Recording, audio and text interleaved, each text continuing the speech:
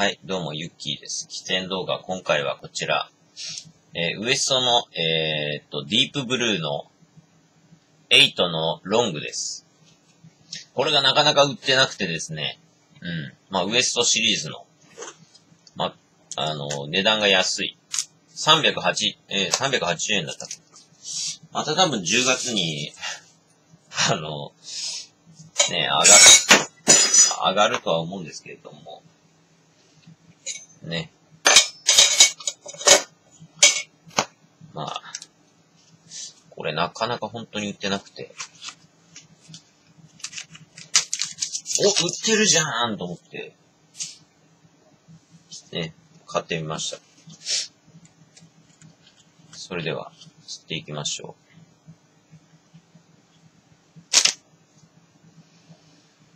う。えーっと、はい、どうも、ゆっきーです。久々ですね。ロング、ロングをするのは久々です。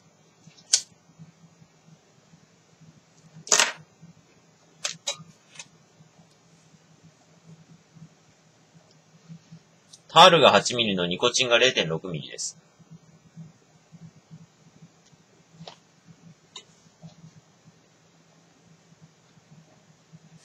うーん。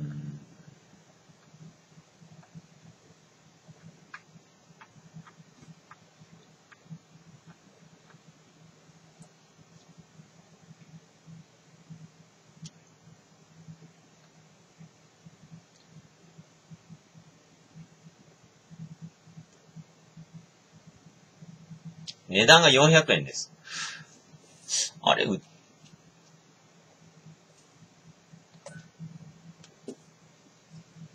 あれ？だいたいタバコって、あの、俺がいつも、あの、参考にするのが、えタバコのさくらんぼっていうサイトがあるんですけど、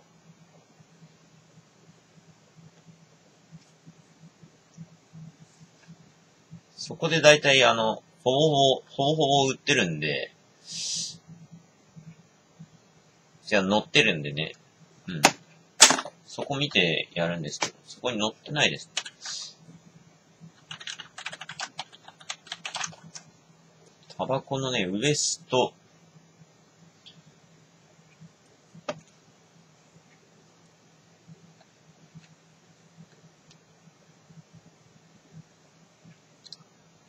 うん。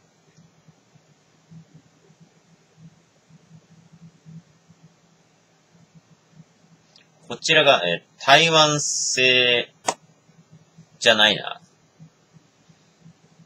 ほとんど台湾で売られているってウィキウィキペディアには書いてあります。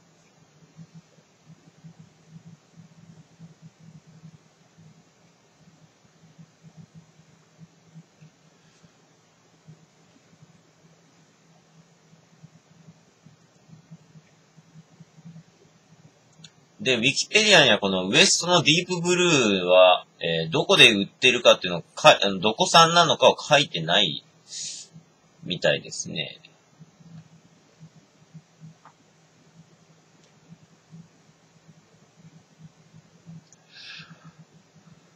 だいたい俺買うのがこのウエストの、えー、アイス、アイスフレッシュ8っ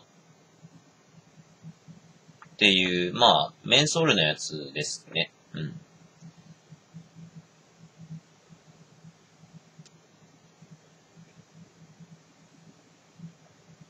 メンソールの8、えー、8ミリのやつです。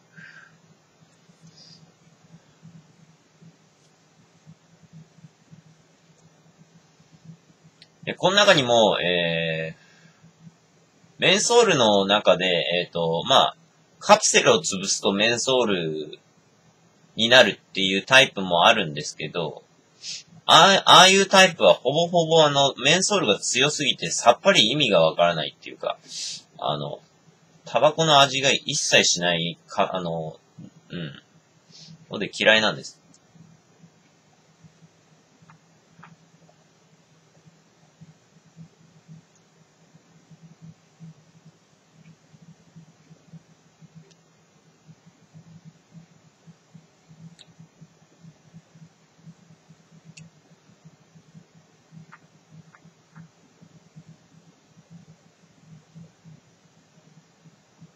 一応ドイツのブランドとは書いてありますね。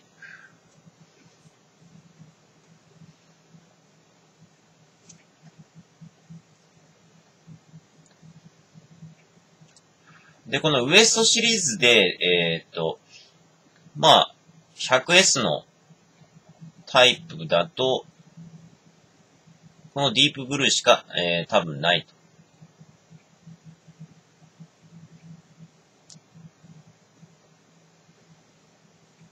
多分。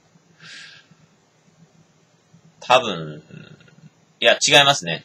あの、アイスフレッシュ1っていう、まあ、1ミリのタバコの上、えっ、ー、と、メンソールタイプも一応あるんですけど、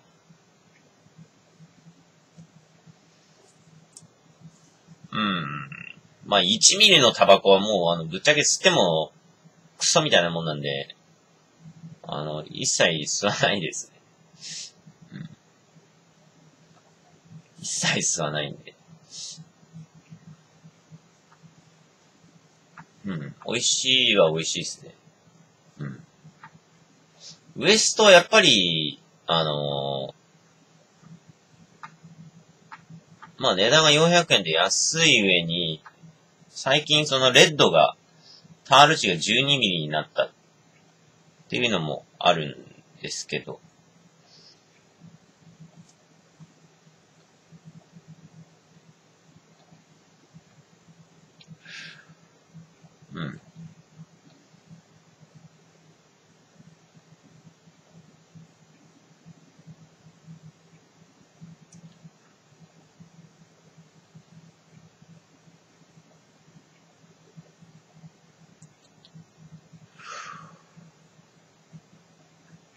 うん、問題ない。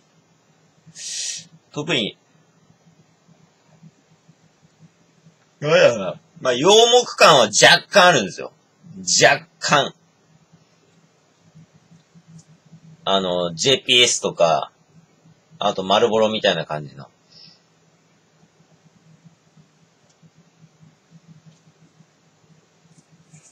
またあれか。ああ、また、また2%上がんのか、消費税。うん。2%上がるってことは、2222で、8円上がりますね。タバコ代、多分。400円だったら。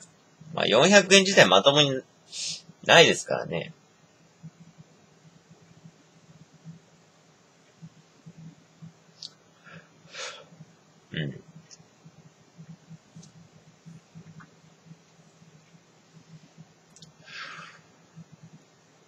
うん、まあ、これは、問題なく美味しいんだけど、やっぱりでも、やっぱウエストのレッドが一番美味しいかなっていう感じはします。うん。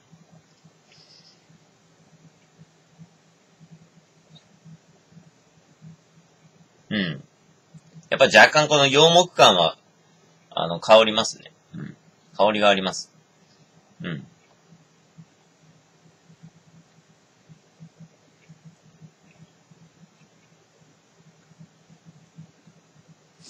味しいですよ。うん。まあ値段もまあ安いですし、お寿司。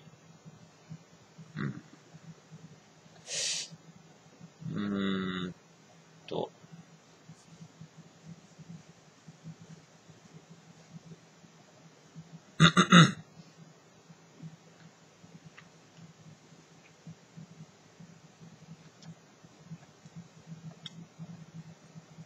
ロングのものと、その、普通の、キングサイズのやつと違いっていうのが、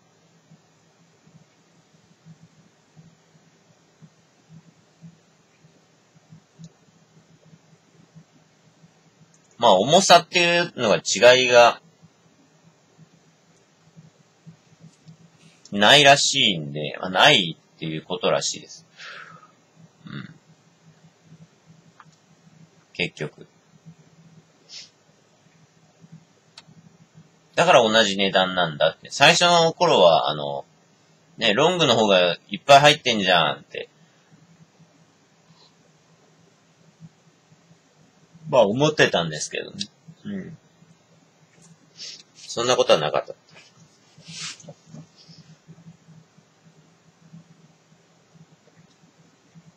で、多分これチャコールなんじゃないかな。チャコールフィルターなんですかね、これね。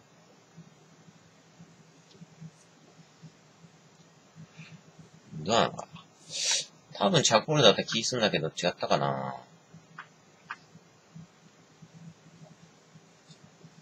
うん。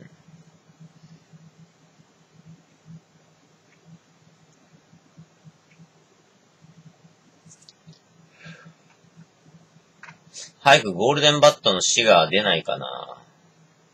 若葉のシガーとエコーのシガーは吸って、まあエコーのシガーの方が美味しかったんですけれども。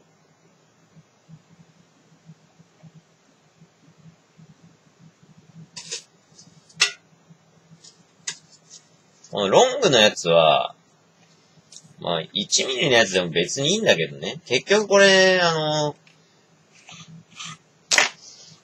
ロングとやっぱ普通のキングとは、水、このフィルターが、あ、フィルターやっぱ、あの、チャコールです。チャコールフィルターですぶっちゃけこのちぎっちゃって両切りスタイルにしてすれば、おそらく、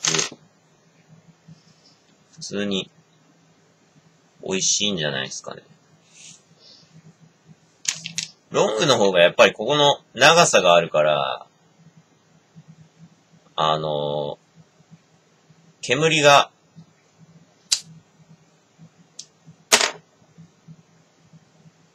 うん。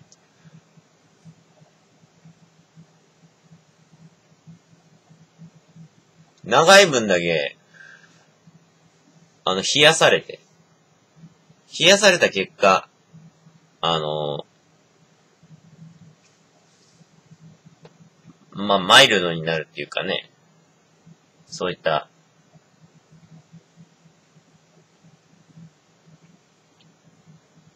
うん。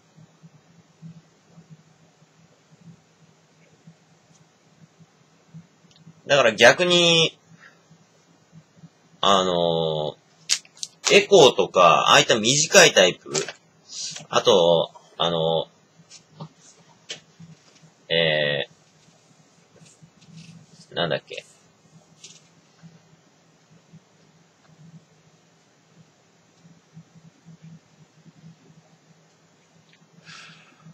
ホープ。ホープみたいにあの、あの、直径が若干でかくて、で、でかくて、なおかつ短いっていうタイプは、あの、ダイレクトに来るんですよね。つまり、熱されたその、煙がブワッとダダイレクトに入ってくるんで、かなり、あの、吸い心地がまるで違う。だから、ショートピースみたいに、ね、あれもまあ割とぎっしり入ってるんだけど、ホープの方がやっぱり、あの、直径はやっぱ長いんですよね。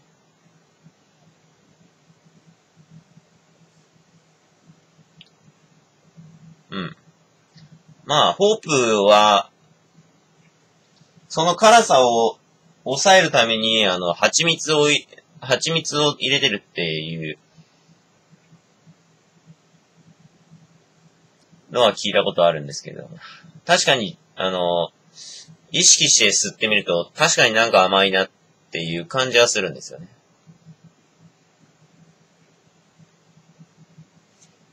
ただ、ホープは10本入りでなおかつ450、250円なんで、20本入りにすると500円ですから高い。うん。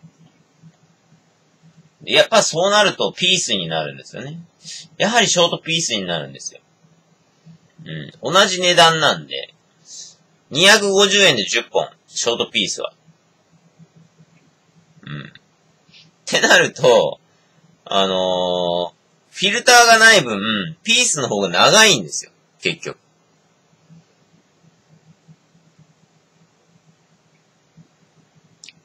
ピースは両切りなんで。ホープは、あの、フィルターがついてる分、そのフィルターを抜かしたら、実質の長さと、あの、質量の関係で、結果としてピースの方が絶対、あの、得なんです。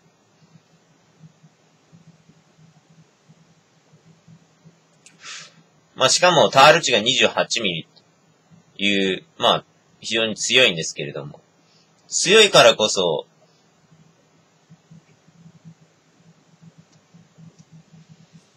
一本吸っただけで大体結構満足感があったりしたことによって結局あの、あの、なんつうか、相対的に、あの、数本数が減り、減った、減って、なおかつこう、うーんまあお金の節約になるっていうんですかね。うん。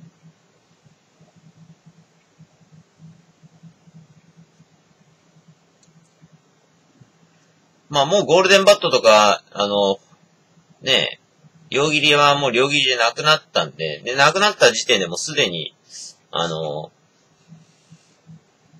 う買う価値がない。っていうことです。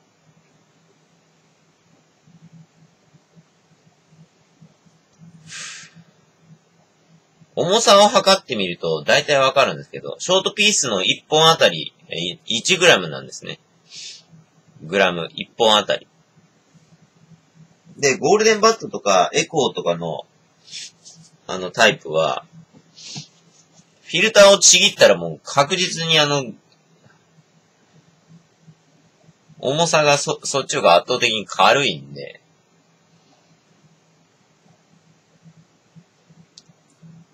だからあんまり、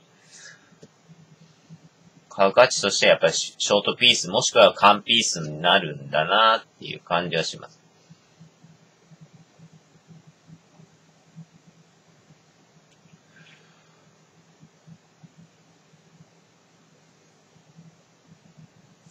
うん。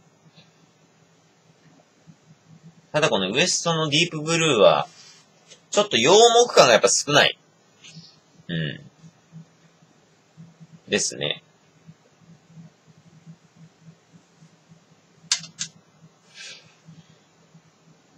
まあ少しはするんですけれども、やっぱり、えー、そうですね。えー、マルボロとか、ラッキーストライク、もしくは、えー、JPS といった、あの、洋木の風味、香りっていうのが、これは圧倒的に弱いのはもう一目瞭然です。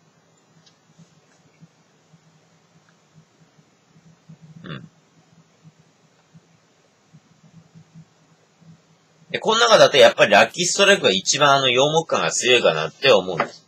ですけども、ラッキーストライクのこのエキスパートカットとか言って400円の安いやつは、ぶっちゃけあの、買う価値はないかな。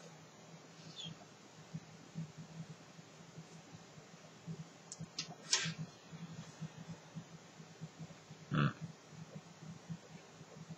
だからやっぱりラッキーストライクのボックスか、もしくは普通のソフトのラッキーストライクかっていうことになるんですね。まあ、ボックスか、ソフトか。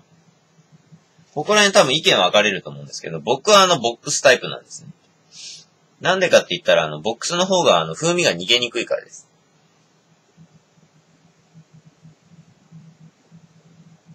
まあ、どちらもフィルムで放送されてるんですが、あのー、ソフトの方は当然、紙ですよね。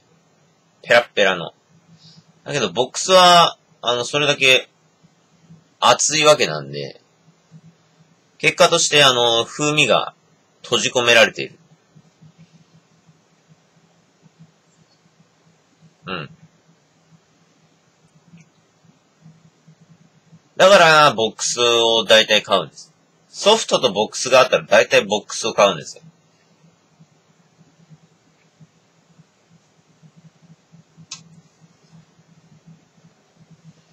で、ラッキーストライクが多分1番。風味としては。で、2番目が多分、えー、JPS かマルボロなんですけど、マルボロはぶっちゃけた話高いんでもう買わないんですよ。マルボロは、もうあの、値段が510円ということで、買わないんです。高いから。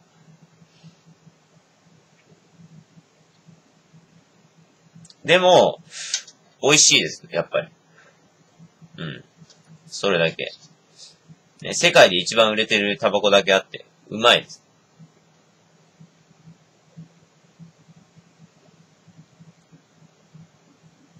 だから、俺が金があるんだったら、当然これ丸ボロになりますね。うん。もしくはラッキーストライク。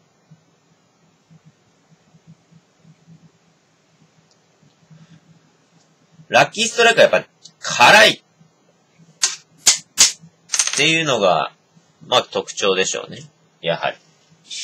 うん。辛い。だけど、風味がすげえ強い。で、丸ボロは、まあ、若干、えー、そこから抑えたっていうタイプ。で、JPS の方は、うーんと、